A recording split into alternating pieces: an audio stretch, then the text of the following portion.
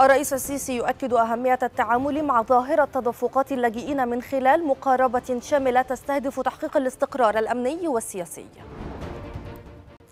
رئيس الوزراء يستقبل رئيس الوزراء الفلسطيني والوفد المرافق له في مطار القاهرة. بوريل يؤكد أن روسيا لن تدخل في مفاوضات ما لم تنتصر في العملية العسكرية.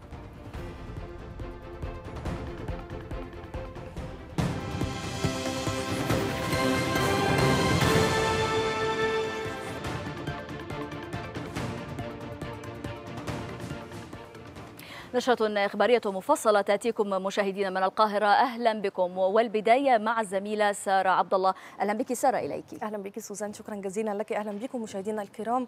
والبداية حيث أكد الرئيس عبد الفتاح السيسي أهمية التعامل مع ظاهرة تدفقات اللاجئين وكافة أشكال النزوح من خلال مقاربة شاملة تستهدف جذور الأزمات المتعلقة بتحديات تسوية النزاعات وتحقيق الاستقرار الأمني والسياسي والتنمية المستدامة الشاملة.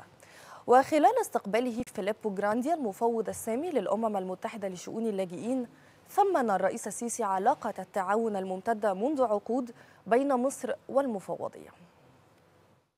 استقبل السيد الرئيس عبد الفتاح السيسي السيد فيليبو جراندي المفوض السامي للأمم المتحدة لشؤون اللاجئين وذلك بحضور السيد سامح شكري وزير الخارجية. وصرح المتحدث الرسمي باسم رئاسة الجمهورية المستشار أحمد فهمي أن السيد الرئيس ثمن علاقة التعاون الممتدة منذ عقود بين مصر ومفوضية الأمم المتحدة للاجئين والجهود التي تبذلها المفوضية على الصعيد الدولي في ظل تصاعد الأزمة العالمية للاجئين. كما أكد السيد الرئيس أهمية التعامل مع ظاهرة تدفقات اللاجئين وكافة أشكال النزوح من خلال مقاربة شاملة تستهدف جذور الأزمات المتعلقة بتحديات تسوية النزاعات وتحقيق الاستقرار الأمني والسياسي والتنمية المستدامة الشاملة. من جانبه أكد المفوض السامي للأمم المتحدة لشؤون اللاجئين حرص المفوضية على تعزيز التعاون مع مصر مشيرا إلى محورية الدور المصري على المستويين الإقليمي والدولي في هذا الإطار ومعربا عن تقدير المفوضية للجهود التي تقوم بها مصر لاستضافة أعداد كبيرة من اللاجئين من جنسيات مختلفة. ومشيرا في هذا السياق إلى الزيارة التي قام بها للمعابر على الحدود المصرية السودانية والتي لمس خلالها الجهد الهائل الذي تقوم به الجهات المصرية المعنية بالتعاون مع منظمات الأمم المتحدة والهلال الأحمر المصري لمساعدة الوافدين سواء من السودانيين أو الجنسيات المختلفة مشددا على أنه يتعين على المجتمع الدولي والجهات المانحة تقديم يد العون للدول المستضيفة للاجئين والمتأثرة بحالات النزوح البشري. وقد تطرق اللقاء أيضا إلى بحث سبل تعزيز التعاون بين مصر والمفوضيه في ضوء الأعباء الكبيرة التي تتحملها مصر كمقصد للاجئين من العديد من الدول الشقيقة الذين يعيشون جنبا إلى جنب مع الشعب المصري كأشقاء وضيوف. كما تناول اللقاء استعراض مستجدات الأوضاع فيما يتعلق بحالات النزوح من السودان في ضوء استمرار الأزمة الراهنة وثمن المفوض السامي للأمم المتحدة الجهود المكثفة التي تبذلها مصر للمساعدة في تسوية الأزمة واستعادة الأمن والاستقرار بالسودان. أشاد المفوض السامي للأمم المتحدة لشؤون اللاجئين فيليبو جراندي بجهود مصر في استقبال الوافدين من السودان وفي مؤتمر صحفي دعا جراندي جميع الدول لاستقبال السودانيين وتقديم الدعم والمساعدة لهم.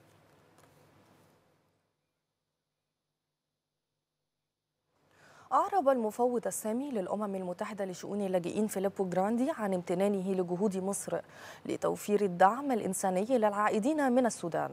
وعقب لقائه الأمين العام لجامعة الدول العربية أحمد أبو الغيط قال جراندي إن السلطات المصرية المحلية في أسوان وعلى الحدود تقوم بعمل جيد وكذلك جمعية الهلال الأحمر المصري مشيرا إلى أن حوالي 164 ألف سوداني قد جاءوا من السودان إلى مصر منذ اندلاع الأزمة. Including many here in Egypt أكثر من 350 ألفا حتى الآن. منهم الكثيرون هنا في مصر ودخلوا البلاد بالفعل. تعلمون أنني كنت في قسطل على الحدود بين مصر والسودان وتحدثت مع الأمين العام عن هذا. وطلبت منه بالطبع الدعم المتواصل في شيئين المساعدة في تحقيق هدنة دائمة في السودان لكي يتمكن الناس من التوقف عن الفرار ويعود من فروا بالفعل في نهاية المطاف. وأيضا طلبت منه المساعدة في المنطقة لتسهيل نقل الموارد لتمويل الدعم الإنساني الذي يعاني من نقص شديد في التمويل مقارنة بما تنشده الأمم المتحدة في الداخل السوداني. وفيما يخص أزمة اللاجئين المساعدات ضعيفة للغاية تقدر بحوالي 10% ونحن نحتاج الموارد لمساعدة كل البلاد التي تستقبل اللاجئين بما فيها مصر. فهذا كان النقاش الأساسي مع الأمين العام وأنا ممتن جدا لجهوده ودعمه. تعاوننا مع مصر لتوفير الدعم الإنساني جيد. السلطات المصرية المحلية في أسوان على الحدود يقومون بعمل جيد. جمعية الهلال الأحمر المصري تقوم بعمل جيد كذلك. ونحن في الواقع نتعاون معها وندعمها وهي المنظمة الرئيسية التي تعمل هناك. وفقا لتقديرات الحكومة المصرية التي نتبناها أيضا عن أعداد النازحين السودانيين يوجد حوالي 164 ألف سوداني جاءوا من السودان إلى مصر منذ الخامس عشر من إبريل. فهؤلاء جاءوا فارين من الاقتتال أغلبهم من الخرطوم ومن أماكن أخرى كذلك. وجزء كبير من الموارد التي نطالب بتقديمها سيتم تخصيصها لمصر لمساعدة السلطات والهلال الأحمر والمؤسسات الأخرى المشاركة. وبالفعل بدأنا هذا التخصيص. قابلت فريق المفوضية السامية لشؤون اللاجئين هنا وعددا من ممثلي المنظمات الأممية العاملة على الأرض لتوفير الدعم وأماكن الاستقبال والمساعدة للأفراد الفارين ولم شمل الأسر. فالكثير من العمل يجري بالفعل لكننا نحتاج موارد أكثر لنتمكن من المواصلة. مصر تحتاج إلى موارد أكثر من المجتمع الدولي وليس مصر فقط كذلك البلاد الأخرى مثل تشاد وجنوب السودان وجمهورية إفريقيا الوسطى البلاد التي تستقبل الفارين. استقبل الدكتور مصطفى مدبولي رئيس مجلس الوزراء بمطار القاهرة الدولي محمد أشتية. رئيس وزراء فلسطين الذي يزور مصر على رأس وفد رسمي رفيع المستوى. وأقيمت مراسم استقبال رسمية لرئيس الوزراء الفلسطيني والوفد المرافق له. ومن المقرر أن يعقد مدبولي وأشتية جلسة مباحثات موسعة بحضور الوزراء من الجانبين المصري والفلسطيني لمناقشة عدد من ملفات التعاون بين مصر والسلطة الفلسطينية.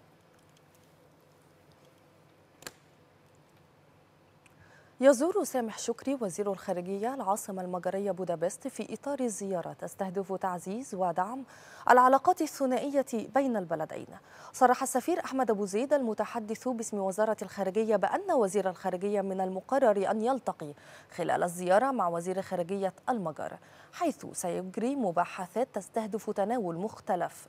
ملفات العلاقات الثنائية بين مصر والمجر وسبل تعزيز التعاون القائم بالإضافة إلى التنسيق بشأن القضايا الإقليمية والدولية ذات الاهتمام المشترك. أكد رئيس تيار الحكمة العراقي سماحة السيد عمار الحكيم أن مصر تمثل الشقيقة الكبرى للعرب.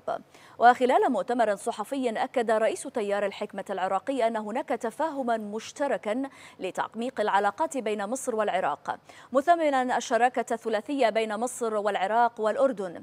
كما أشار رئيس تيار الحكمة العراقي إلى أن العراق يسعى للانفتاح على جميع الشراكات. لا شك أن العلاقة علاقة الشراكة الثلاثية بين العراق ومصر والأردن تمثل محورا مهما في هذه السياسة وفي هذا المسار وهي علاقة ليست على حساب علاقات كل من هذه الدول مع شركائها الآخرين وإنما هي في طول المصالح الإقليمية والعلاقات الأخرى.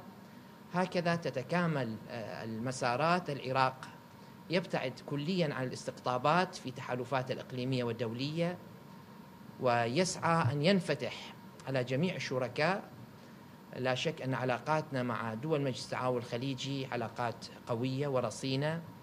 تتكامل مع علاقتنا مع مصر والأردن ونتمنى بعودة سوريا إلى حضن الجامعة العربية وإلى أخذ مساراتها. أن نشهد تعاونا وثيقا مع الجارة سوريا ولبنان وهكذا تتكامل كل هذه المسارات مع بعضها. استقبل أحمد أبو الغيط الأمين العام لجامعة الدول العربية سامحة السيد عمار الحكيم رئيس طيار الحكمة العراقية أكد أبو الغيط مواصلة الجامعة العربية دعمها للعراق بمختلف مؤسساته في إطار جهوده الرامية لتحقيق الاستقرار والدفع بوتيرة التنمية الاقتصادية. كما أشاد أبو الغيط بالاستقرار والتقدم الذي حققه العراق على مختلف الأصعدة.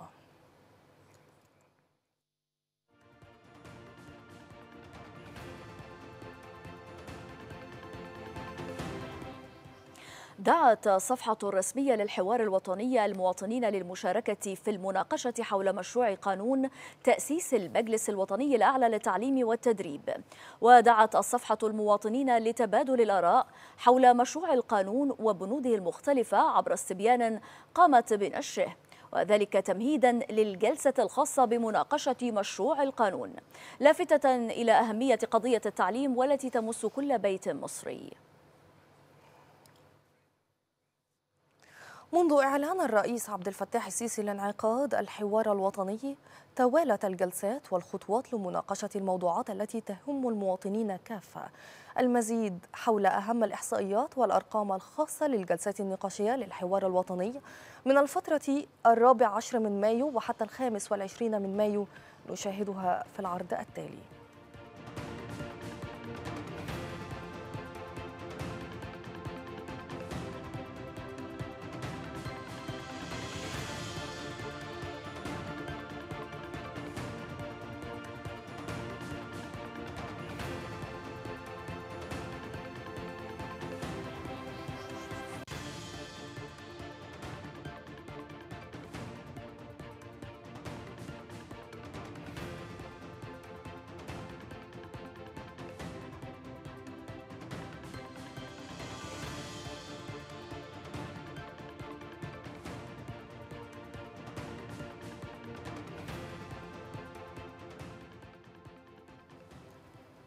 شارك أعضاء المبادرة الوطنية لتطوير الصناعة المصرية ابدأ الأسبوع الماضي في جلسات المحور الاقتصادي بالحوار الوطني لمناقشة تحديات توطين الصناعة والقوى العاملة في مصر والتي واجهتها المبادرة على أرض الواقع فيما تضمنت النقاشات سبل تطوير وحل مشكلات أكثر من خمسة آلاف مصنع سنويا بجانب استعراض إنجازات المبادرة والتي تضمنت البدء في إنتاج مادة الصودا آش.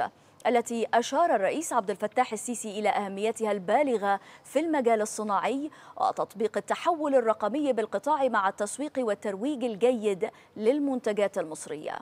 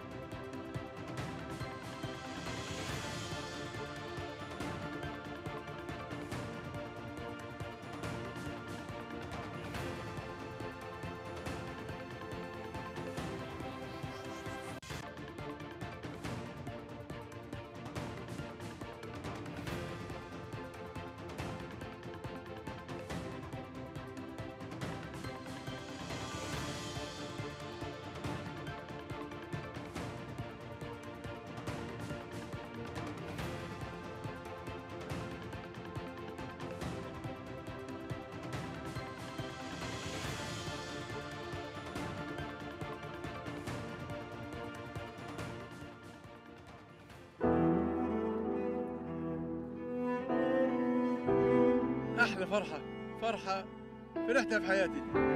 إحنا بنشعر بالفخر. كل ما نروح أي حتة في العالم بنشعر بالفخر إن إحنا مصريين. كنا واثقين في القيادة السياسية وعارفين إن سياده الرئيس عبد الفتاح السيسي حافظ على أولاده حافظ على أبنائه بيروح يجيبهم من أرض النار. الحمد لله رب العالمين. إحنا ما كناش متخيلين إن الطيران هيقدر يجيبنا في الحتة دي يعني. أنا واثق إن أنا ورايا مؤسسات قوية جدا هي اللي جابتني هنا. بلد الزمان. ما قدرش ياخد من شبابها بلد اللي كل الدنيا دي بتعمل حسابها. كل ربنا يخليك ويطول عمرك ودايما متواضع ودايما تشوف الغلبان قبل الغنيان. البلد اللي فيها قائد وجيش يطمن أهلها ويعيش. حضن الغريب وقت التعب. بلد اللي فاتحة للعرب والدنيا.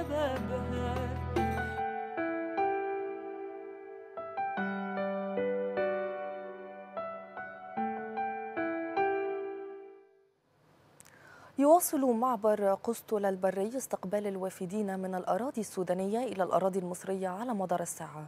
ويشهد المعبر زيادة في عدد الخدمات المقدمة سواء الطبية أو الإنسانية بالإضافة إلى وجود مبادرات وقوافل مصرية تابعة لمؤسسات مختلفة تقدم الدعم للنازحين على المستويين الصحي والغذائي.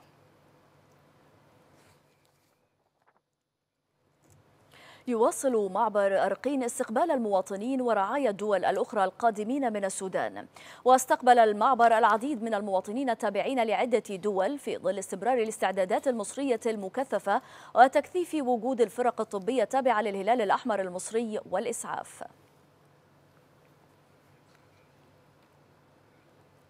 كما يواصل موقف كركر الدولي في محافظة أسوان استقبال العائدين من السودان وسط جهود كبيرة لتقديم الدعم خاصة في القطاع الطبي.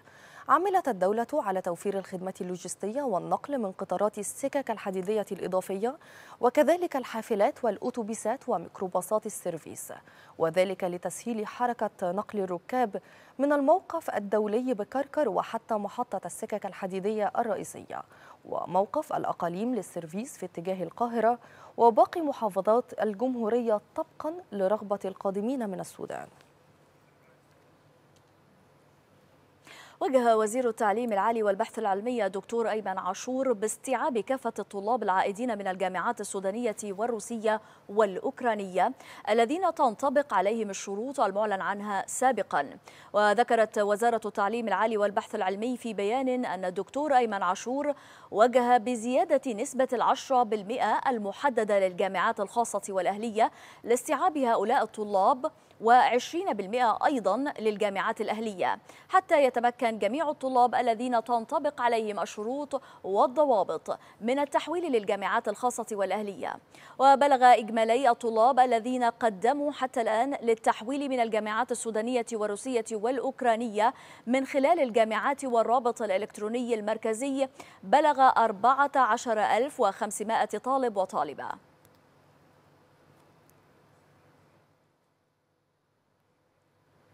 وللمزيد حول جهود الدولة المصرية لاستقبال العائدين من السودان ينضم إلينا مباشرة من أبو سمبل مراسل إكسترا نيوز زميل عوض الغنام. تحياتي لك عوض. بداية ويعني أطلعنا على آخر مستجدات الوضع إليك وخصوصا نحن نتحدث تحديدا عن النسبة التي حددها وزير التعليم العالي لاستقبال الوافدين في التعليم سواء الجامعات الأهلية أيضا والخاصة. نعم سوزان سأبدأ بسؤالك الأول. هو المجلس الأعلى للجامعات المصرية كان قد حسم هذا الملف؟ وسيكون لكل مصري قد عاد من السودان ومن غير السودان أوكرانيا أو روسيا له مكان في الجامعات المصرية. وهذا الأمر كانت تحدثت عنه وزارة التعليم العالي وحددت لذلك موقع إلكتروني يستطيع أي طالب مصري قد عاد أن يقدم ما يثبت أوراقه التعليمية للحصول على فرصة واستكمال واستكمال العملية التعليمية. هذا من جانب إذا ما عدنا للأجواء الخاصة في المعابر المصرية المعابر المصرية السودانية قسطل وأرقين وتحديدا قسطل الذي عبره حتى الآن نحو 100 ألف وافد من الحدود السودانية هو حديث المفوض السامي لشؤون اللاجئين الذي كان بالأمس واستمر اليوم من خلال المؤتمر الصحفي الذي عقده في المفوضية الدولية للاجئين في القاهرة. الرجل تحدث باستفاضة لكن الجملة الأهم التي توقفت عندها هو حينما تحدث عن سخاء المصريين في التعامل مع الوافدين من الجانب السوداني. هذه كلمة مهمة للغاية. لأنها تجسد الموقف المصري التاريخي الدائم والداعم للأشقاء في السودان وكذلك تحدث بإيجابية للغاية عن اللقاء الذي جمعه مع سيادة الرئيس صباح اليوم ثم عرج بعد ذلك على اللقاء الذي جمعه بالأمين العام لجامعة الدول العربية. وفي ذلك حديث يطول أن ملف العلاقات العربية مع مفوضية شؤون اللاجئين طويلة للغاية خاصة مع الأزمة السورية خاصة وأن هناك لاجئين في لبنان وكذلك في الأردن. نعود لتفاصيل هذه الزيارة وأهميتها. لماذا جمع هذا الرجل هذا الانطباع الإيجابي عن الدولة المصرية ومؤسساتها في التعامل مع القادمين من السودان؟ جمع ذلك من خلال ما لاحظه وما رآه من خلال زيارته بالأمس إلى آه، معبر قسطل برفقة محافظ أسوان وعدد كبير من القيادات التنفيذية وأجرى حوارا مست مستفيضا مع السودانيين الأشقاء الذين جاءوا في نفس وصوله من الجانب الآخر واستمع إلى كل مشاكلهم. وبالتالي كان هناك مؤتمر صحفي لخص فيه هذا الموقف وعاد اليوم ليكرره مرة أخرى. أهم معالم الموقف الدولي من خلال رئيس المفوضية لشؤون اللاجئين نستطيع أن نسرده في عدة نقاط. اولا لا يجب أن تترك مصر لوحدها حسب ما أكد بالأمس واعاد اليوم لتأكيد هذا الموقف ألا تترك مصر لوحدها لتتحمل مسؤولية تداعيات الأزمة السودانية وربما في ذلك يتحدث عن الشق الاقتصادي ويجب أن يتم تمويل ودعم مصر في هذا السياق. الأرقام تتحدث حتى هذه اللحظة عن 175 ألف قد قد حضروا من السودان وربما إذا استمرت الأوضاع بنفس الوتيرة قد نصل قريبا للغاية خلال الأسابيع القادمة إلى ما يقرب من ربع مليون. هذا يمثل عبء كبير على موازنة الدولة وعلى الخدمات التي تقدمها الدولة لمواطنيها وكذلك للوافدين القادمين من السودان. فبالتالي حديث اليوم في هذه النقطة كان مهمه وعرج أيضا على ضرورة أن يكون هناك مؤتمرا دوليا قريبا للمانحين. وهذه نقطة أيضا مهمة للغاية. لأن ما تحصلت عليه المفوضيه الدولية لشؤون اللاجئين حتى الآن لم يصل إلى سقف ال 10% وتحديدا 9% مما تتطلبه من موازنة لدعم ما هو قادم من السودان سواء إلى مصر أو تشاد أو أفريقيا الوسطى أو كذلك جنوب السودان وغيره من الدول المجاورة للسودان. الرجل أيضا تحدث عن عدد كبير من الخدمات التي قدمتها الدولة المصرية وهي خدمات يطول الحديث بها وتحديدا الجانب الصحي هو أهم ما لفت نظره بشكل كبير خدمات كبيرة قدمتها لمصر لخصها ربما تقرير صدر بالأمس عن محافظة أسوان بالأرقام. نتحدث عن سبعة آلاف شخصية قد عبرت الجانب السوداني قد حصلت بالفعل على أدوية مزمنة وعدد كبير وعشرات قد دخلوا العناية المركزة. وكذلك نحو 120 قد أجريت لهم عملية جراحية كبيرة ومتوسطة وصغيرة. وحتى مرضى الفشل الكلوي نحو 100 شخصية وفتحت لهم المستشفيات المصرية في أسوان وفي سنبل وغيرها وغيرها. لكن الإشادة حقيقة كانت بشباب المصري المتطوعين الذين قدموا مثل أعلى للشخصية المصرية هم الشباب الذين تطوعوا في الهلال الأحمر المصري. على كل حال العمل في المعابر ما زال مستمرا حتى الآن. وهناك مساحة كبيرة من الأمل لدى السودانيين أن الليلة يتم تمديد الهدنة مرة أخرى لمدة أسبوع أو أكثر لا نعلم. لكن الليلة ستنتهي المدة الخاصة بالهدنة. وإذا قارنا هذه المدة آه، هذه الهدنه الهدنة بالهدن السابقة نتحدث عن 13 هدنة. كانت هي أفضلهم على الإطلاق حتى هذه اللحظة. الأمال تحوز أو تستحوذ على ع- عدد كبير من السودانيين أن يتم الاستمرار في هدنة جديدة. سيتيح ذلك فرصة إما لعبور آه، آه، جدد من الوافدين أو يستمر الوضع أو يتحسن إلى ما هو أفضل في المشهد السوداني وحينها سيكون هناك فرصة على أرض الواقع لتقديم عدد كبير من الخدمات اللوجستية لكل المنظمات الدولية وبالمناسبة هو أشار إلى ذلك المفوض الدولي لشؤون اللاجئين. إذا ما تم تهيئة الأوضاع لهذا الأمر سيكون هناك فرصة أكبر وأوسع لحركة منظمات الأمم الدولية والأمم المتحدة على أرض الواقع لتقديم مزيد من الخدمات حينها سيقل نسبة الوافدين نحو الحدود الدولية مع السودان. نعم, لك سوزان. نعم الزميل عوض الغنام مراسل إكسترا نيوز شكرا جزيلا لك على هذه التفاصيل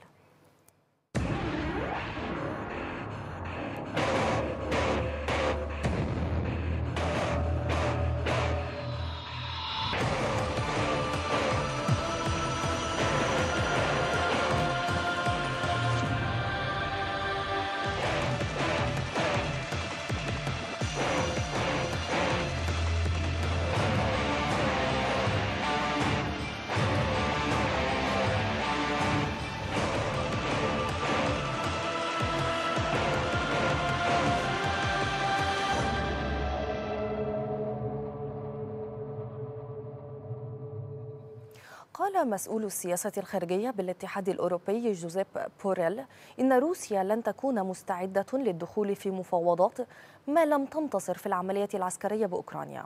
أكد بوريل أنه غير متفائل بشأن ما يمكن أن يحدث في الأزمة بين موسكو وكييف خلال هذا الصيف. كما أكد أن لدى روسيا نية قاطعة لحسم المعركة.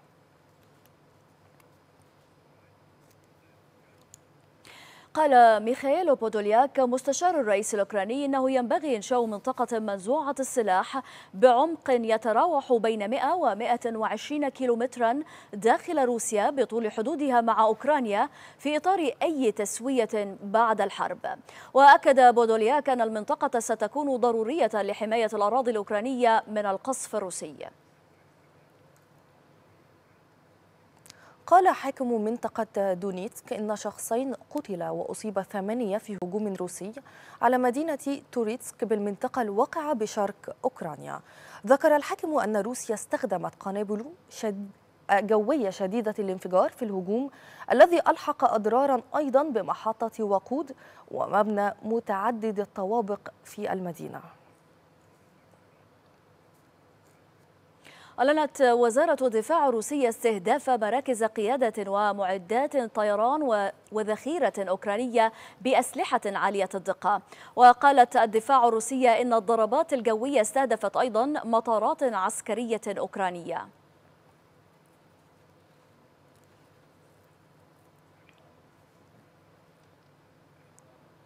يلعب سلاح الطائرات المسيرة دورا محوريا في المواجهات بين روسيا وأوكرانيا. تعرضت العاصمة الأوكرانية لهجوم بأكثر من خمسين طائرة مسيرة في أحدث استخدام لهذا السلاح. كما تعرضت الأراضي الروسية في الأسابيع الماضية لسلسلة هجمات بطائرات مسيرة. المزيد في سياق التقرير التالي. نتابع. حرب المسيرات. السلاح الفتاك الذي وصل إلى قبة الكرملين مطلع الشهر الجاري. لا يزال يلعب دورا محوريا في المواجهات بين روسيا وأوكرانيا. ففي تطور جديد استهدفت أكثر من خمسين طائرة مسيرة العاصمة الأوكرانية كييف في أحدث وأكبر هجوم بالمسيرات منذ بدء المواجهات بحسب إعلان السلطات الأوكرانية. وعلى الرغم من كثافة الهجوم إلا أن الجيش الأوكراني أعلن تصديه للمسيرات الروسية وتمكن من إسقاط معظمها فوق العاصمة كييف.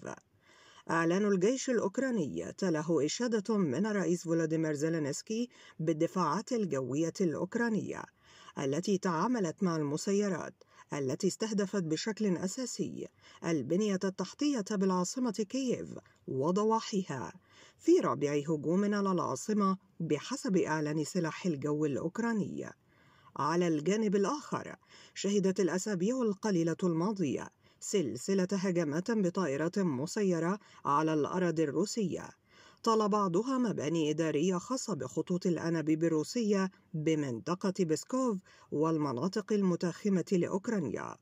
وعلى الرغم من النفي الأوكراني إلا أن موسكو حملت كييف وداعميها الغربيين مسؤولية العدد المتزايد من الهجمات وعمليات التخريب على الأراضي الروسية.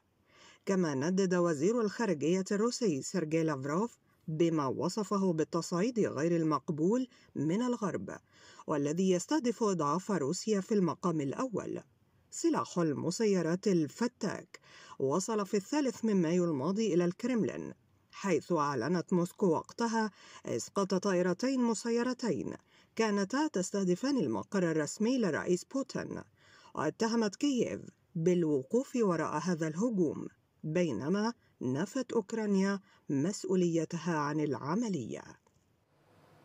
وقع الرئيس الروسي فلاديمير بوتين قانون انسحاب بلاده من معاهدة القوات المسلحة التقليدية في أوروبا. كان بوتين قد أصدر مطلع الشهر الجاري مرسوما بشأن نية بلاده الانسحاب من المعاهدة. وعين نائب وزير الخارجية سيرجي ريباكوف ممثلا له عند النظر في مشروع القانون أمام البرلمان الروسي بمجلسيه والذي وافق على الفور على اقتراح الرئيس الروسي. أفادت الحكومة الدنماركية بتخصيص مليارين وستمائة مليون دولار إضافية لصندوق المساعدات لأوكرانيا. قالت رئيسة الوزراء الدنماركي إن الأوكرانيين بحاجة إلى أسلحة ودعم كوبنهاجن مضيفة أن أموال الصندوق كانت تنفذ بالفعل. أكدت المسؤولة الدنماركية أيضا أنه تم تخصيص 10 مليارات و400 مليون كورونا أخرى لعام 2024 لعدم وجود ما يشير إلى سلام العام المقبل حسب وصفها. من جانبه أعرب الرئيس الأوكراني فلوديمير زيلينسكي عن شكره موضحا أن هذه المساهمة ستعزز القدرات القتالية للقوات المسلحة الأوكرانية على المديين القصير والمتوسط. أكد وزير الخارجية التشيكي يان ليابافسكي أن السياسة الخارجية لبلاده تستند على حقيقة أن روسيا ستشكل تهديدا لعشر سنوات أخرى. وأكد الوزير أن أوروبا ليست مستعدة بعد لمواجهة مطولة مع روسيا.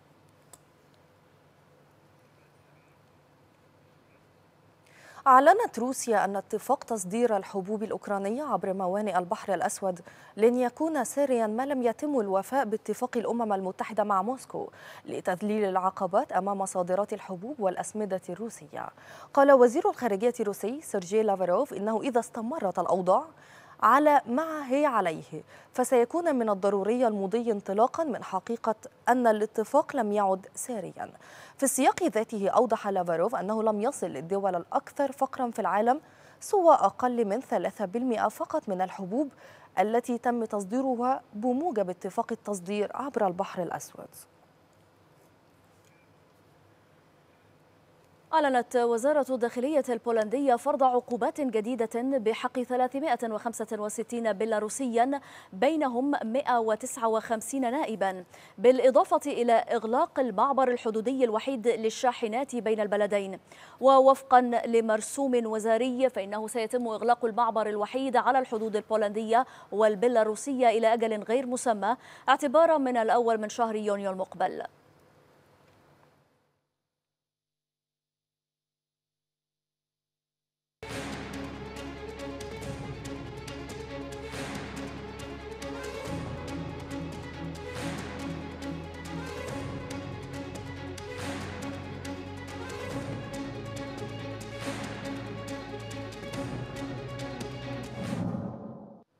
أدان حلف شمال الأطلسي الناتو بشدة الهجمات على قوته المنتشرة في شمال كوزوفو. قال المتحدث باسم الحلف إن الناتو يدين الهجمات غير المبررة على القوات والتي أسفرت عن عدد من الجرحى مشددا على ضرورة وقف العنف فورا. اندلعت اشتباكات بين قوات حفظ السلام والصرب في مدينة زفيتشان الحدودية مع كوزوفو ونشرت قوات حفظ السلام التابعة لحلف شمال الأطلسي طوقا أمنيا في عدة أنحاء بكوزوفو تزامنا مع مظاهرات الصرب ومحاولتهم منع أعضاء البلدية المنتخبين في أربع مناطق في شمال البلاد من دخول مقرات أو مقر البلديات. أدى بولا تينوبو اليمين القانوني رئيسا لنيجيريا في ظل دعوات متزايدة لتحسين الظروف الاقتصادية والأمنية.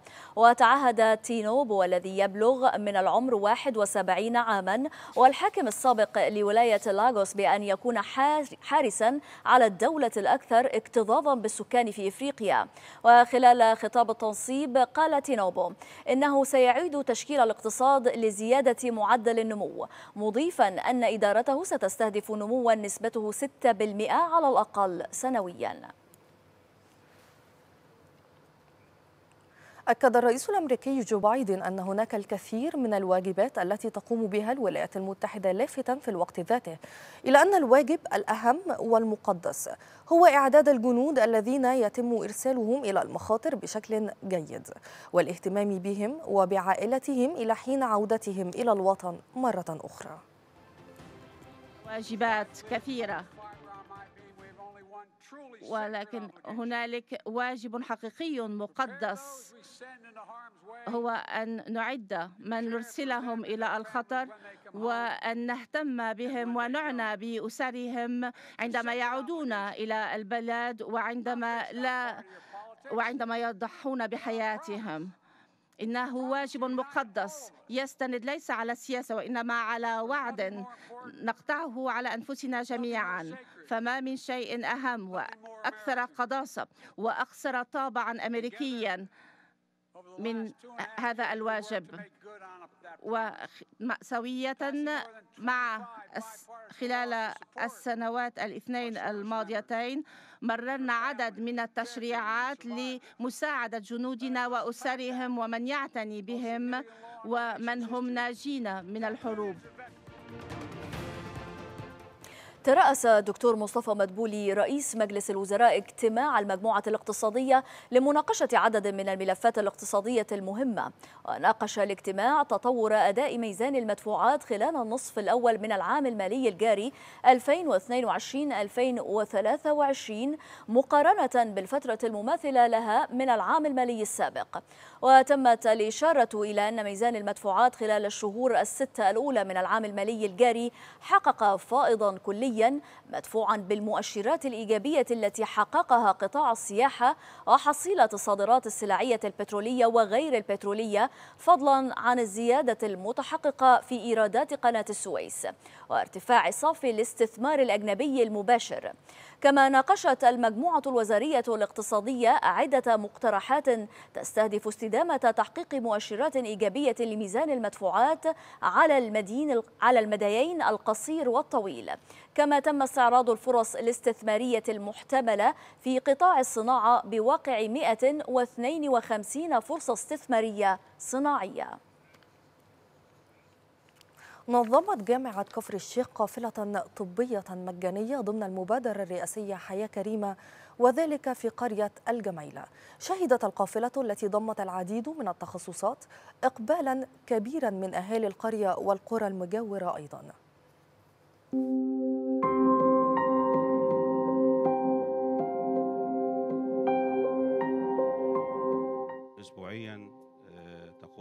بقوافل طبية شاملة وقوافل بيطرية وقوافل آه، إرشاد آه، آه، زراعي وتوعية للمزارعين في كل المجالات.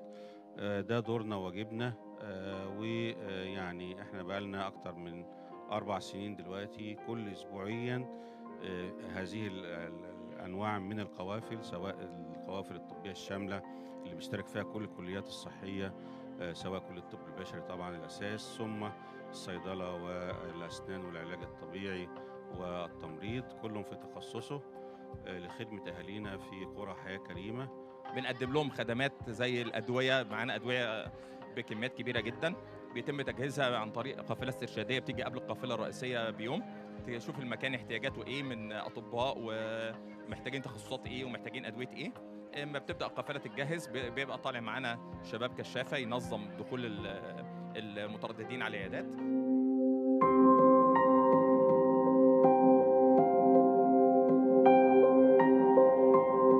النهارده نازلين حملة توعية نختار المخدرات مع الجامعة بالتعاون مع الجامعة. آه بننزل النهارده نوعي بأخطار المخدرات وبنعرف الناس بالخط الساخن اللي هو 16023 والعلاج فيه بيكون بسرية تامة والمجان ومبقاش عليه أي مساءلة قانونية. برحب بالقافلة الطبية بقافلة آه، حياة كريمة ودي أول مرة تيجي عندنا وإحنا مبسوطين جدا وهم طبعا جايين معانا بالواجب وتنظيم جيد على مستوى جيد جدا وهنا جميع التخصصات منها المخ والأعصاب والعظام والبطنة وبجميع أشكالها منها الصدر منها ال- الكلى كل شيء. وإحنا بنشكرهم آه، جميعا.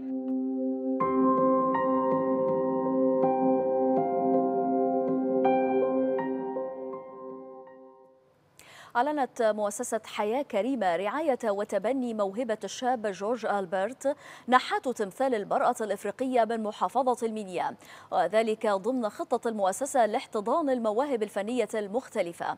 وتأكيدا منها على تقديم كافة أشكال الدعم للمواهب الفنية من أجل تطوير موهبتهم وصقل خبراتهم. المزيد في سياق هذا التقرير.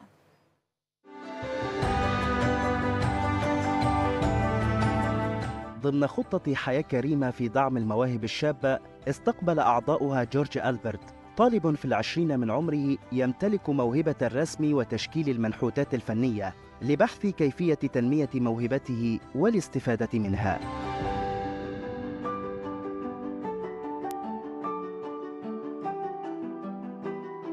جورج بالنسبة لنا مصدر إلهام مش بس لمؤسسة حياة كريمة لكافة متطوعيها على الأرض. فقررنا إن إحنا فعلا هنتواصل معاه هنبدأ ندعمه آه، من دلوقتي لحد ما نوصله لأكبر مكانة ممكنة. وده بسبب إن إحنا آه، مؤسسة حياه كريمة من دورها الأساسي إن إحنا لازم ندعم آه، كل المواهب الشابة وكل الناس المتفردة آه، في إمكانياتها وفي مهاراتها علشان نوصلهم لأعلى آه، قيمة معاهم وإحنا وإحنا معاهم طبعا. سعادة عارمة عمت وجه هذا الشاب عندما تفاجأ بأن حياة كريمة ستعمل على دعمه لتمكنه من النحت وممارسة عمله في مناخ إبداعي يتلخص في اهتمام المؤسسة بأشكاله الفنية حتى تصل به إلى طريق الإبداع الصحيح. ليس هو فحسب بل تسعى حياة كريمة في الوصول إلى غيره من الموهوبين في كل المحافظات. مؤسسة حياة كريمة تواصلوا معايا عن طريق ال- الفيس و... وحددوا ميعاد معايا وجيت استضافوني كرموني بجائزة حياة كريمة و... وخدوا كل التفاصيل عنه و... وكل المستلزمات يعني اللي أنا احتاجها في مجال الفن إن أنا أكمل و- وأوصل للمست- الحلم يعني. دي بالنسبة لي لحظة آه، أكيد فخر و- وشرف ليا أكيد طبعا إن أنا أكون وسط مؤسسة حياة كريمة. حياة كريمة ليست مجرد كلمة ترفع على اللافتات فقط بل هي مؤسسة تبني وتطور وتمكن وتتبنى لتنهض بكل شباب مصر في كل المجالات الحياتية المختلفة.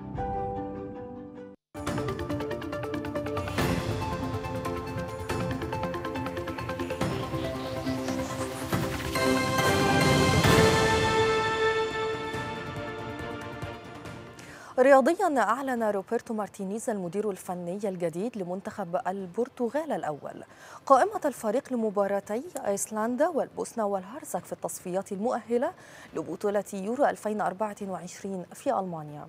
شهدت القائمة تواجد الدولي البرتغالي رونالدو لاعب فريق النصر السعودي والهداف التاريخي للمنتخب البرتغالي. يواجه منتخب البرتغال نظيره البوسنة والهرسك يوم السابع عشر من يونيو.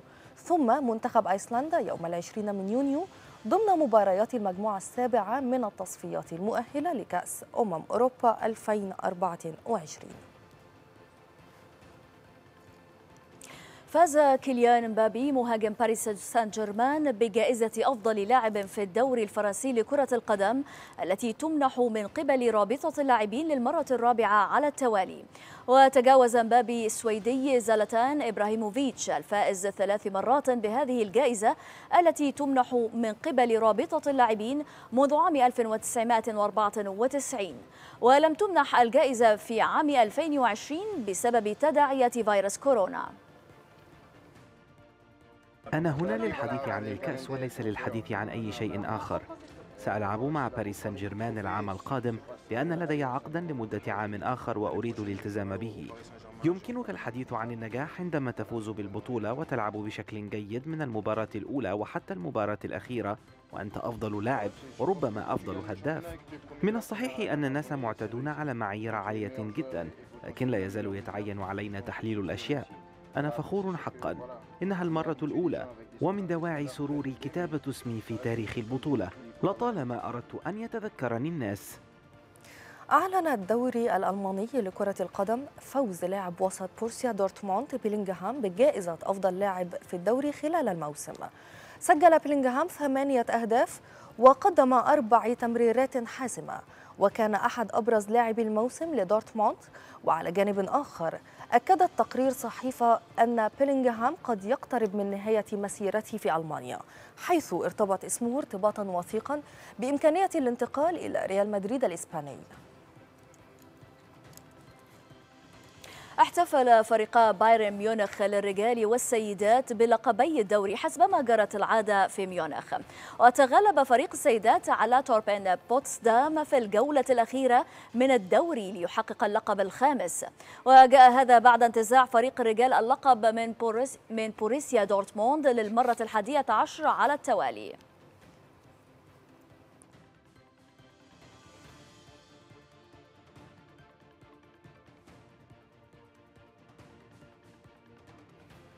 شارك تشافي هرنانديز مدرب برشلونة والقائد سيرجيو بوسكيتس والرئيس لابورتا في حفل بمناسبة الإغلاق الرسمي لملعب كامب نو وبدء تشييد الملعب الجديد للنادي والذي من المقرر أن يكتمل بحلول عام 2026 سيلعب الفريق في الملعب الأولمبي في برشلونة الموسم المقبل مع العودة إلى كامب نو الذي لا يزال غير مكتمل والمقرر إجراؤه في نوفمبر 2024 عندما يحتفل النادي الكتالوني بعيده المئة والخامس والعشرين. بدأ نوفاك ديوكوفيتش سعيه لتحطيم الرقم القياسي لعدد ألقاب منافسات الفردي بالبطولات الأربع الكبرى للتنس للرجال. وحصد اللقب رقم 23 في مسيرته بفوزه على ألكسندر كوفاسيفيتش بثلاثة مجموعات دون رد في الدور الأول لبطولة فرنسا المفتوحة. وشق بطل فرنسا مرتين طريقه بسرعة لحصد أول مجموعتين قبل أن يواجه مقاومة من اللاعب الأمريكي البالغ من العمر 24 عاما والذي ظهر افتقاره للخبرة بعد ذلك في الشوط الفاصل. وسيلتقي ديوكوفيتش في المباراة المقبلة مع المجري مارتون فوتوفيتش للحصول على مكان في الدور الثالث.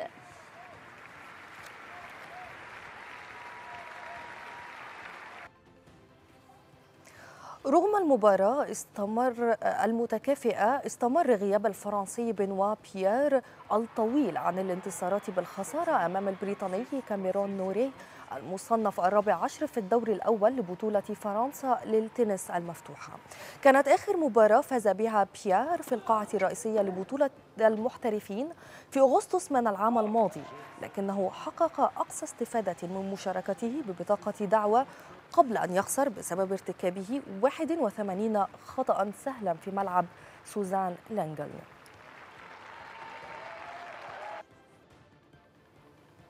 خرج الكندي فيليكس أوجيه ألياسيم من الدور الأول لبطولة فرنسا المفتوحة للتنس وذلك عقب هزيمته أمام الإيطالي فابيو فونيني. وخسر المصنف العاشر عالميا الذي لا يزال يعاني من إصابة في كتفه في المباراة بثلاثة أهداف أو بثلاثة مجموعات متتالية.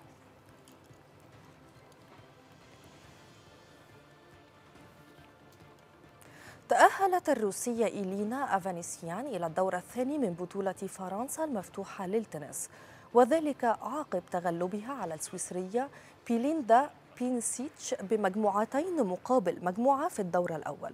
صعدت الأوكرانية إيلينا سفيتولينا إلى الدور ذاته بعد فوزها على الإيطالية مارتينا تريفيزيان بمجموعتين دون رد.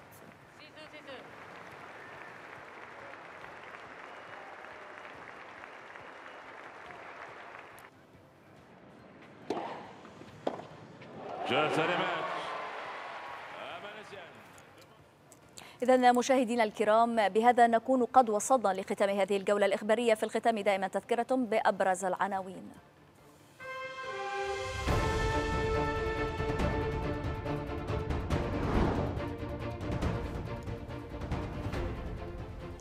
الرئيس السيسي يؤكد أهمية التعامل مع ظاهرة تدفقات اللاجئين من خلال مقاربة شاملة تستهدف تحقيق الاستقرار الأمني والسياسي.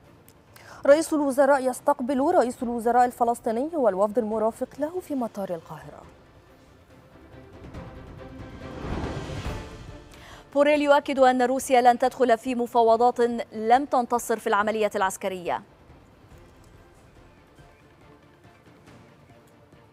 للمزيد من الأخبار يمكنكم تحميل تطبيق Extra News من خلال App Store أو Google Play أو من خلال ال QR code الظاهر على الشاشة. شكرا على طيب المتابعة. تقبلوا تحيات فريق العمل. زميلتي سوزان شرارة ولكم تحياتي أيضا. أنا سارة عبد الله. إلى اللقاء.